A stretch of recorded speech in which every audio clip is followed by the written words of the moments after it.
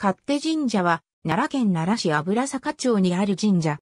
本殿創建時期は明らかではないが、享保20年発行の奈良坊目津田会において、勝手明神社、東町坂荒谷南の辻と北西南の町会所裏にあると記されている。その他、奈良幕、平城坊目校などの知史にも勝手明神として記録が残されている。宝永元年4月11日に火災に遭い、その後再造営された。享保2年2月22日にも火災に遭い、翌3年正月に再造営されている。1912年9月11日に一度韓国神社に合祀されたが、現在は境外抹社である。奈良市に従うと、今年の主命であるが、奈良坊目つたな、海やなんと年中行事では、吉野山口神とされている。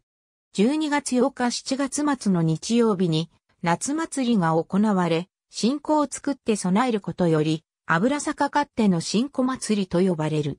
かつては3月8日に行われ、湯立神楽が催され、赤白の長団子を備えた後、参詣者に配ったという。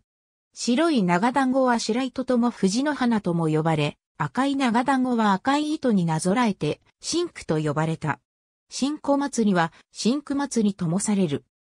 今は行われていないが、かつては6月開日、近隣の今津市長旧東明神の霊祭の際に、油坂町の人々がおのおの巣を、袴、烏帽子をつけて集まり、当社で婚姻祝言を模した儀式をした後、旧東明神に参る習慣があり、勝手明神の祝言と呼ばれた。寛永19年11月27日のなんと、大火災後、この祭礼は廃れたという。ありがとうございます。